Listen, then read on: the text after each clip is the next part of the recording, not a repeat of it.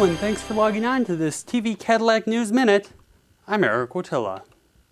Well, the Wexford County Habitat for Humanity will be holding their biggest fundraiser of the year on the evening of Saturday, November 10th.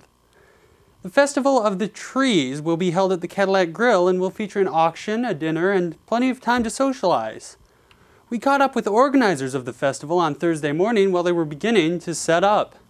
Sure, kind of what's going to take place is first thing we'll do is when everyone comes in, there'll be some hors d'oeuvres and socializing, and then we'll move on to a very, very nice, elegant dinner.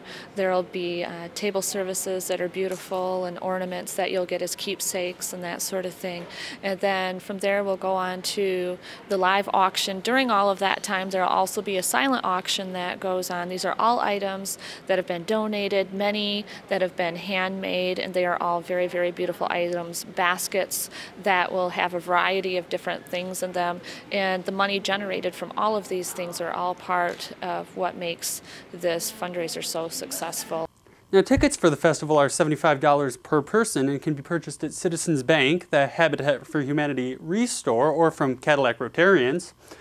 All proceeds will be used to help the Habitat for Humanity to provide housing for those in need in our area.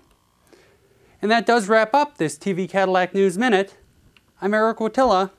Thanks for logging on.